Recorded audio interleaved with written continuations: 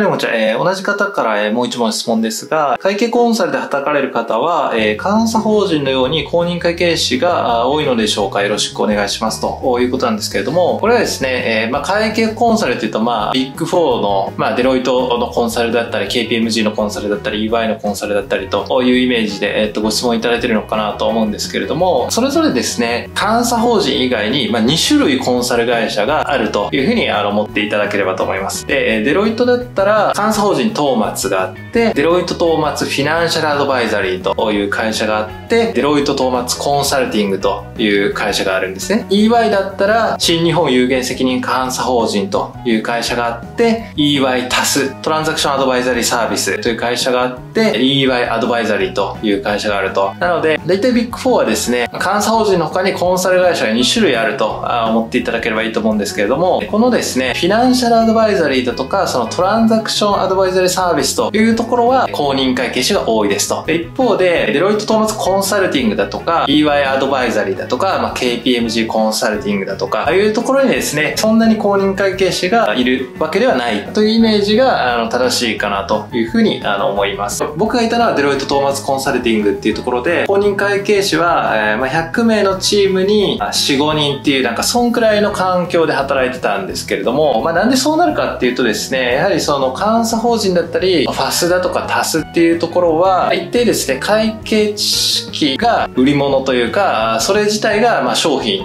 なわけなんだと思うんですけども、純粋なそのコンサルティング会社の商品は、その思考力、論理的に考えて答えを出す力だったり、直感的に本質を見抜く力だったり、まあ、交渉力だったり、コミュニケーション能力というところが、ま、売り物になっているのでですね、必ずしも公認会計士が入れば活躍できるかっていうと、まあ、そうではない環境なんです。ね。で、まあ、その中で、自分は思考力も優れているよという公認会計士が、その会計知識も持った上で、えー、まあ、ピュアなコンサルティング会社に入ると、えー、非常に貴重な人材になれるので、まあ、楽しく仕事ができるし、まあ、出世もしやすいと。ただですね、まあ、僕もですね、やっぱり会計士仲間で、えー、話す楽しさというかですね、めちゃくちゃ苦しい試験を突破した者同士でこそ分かり合える話みたいなものもですね、やはりあるので、まあ、初めに行くのは、タンス法人だったり、そのフィナンシャルアドバイザリーサービスというところが、まあ、僕は言ってないですけども、そちらの方が人にはお勧めできるキャリアかなというふうには思います。一方で、その自分のその、思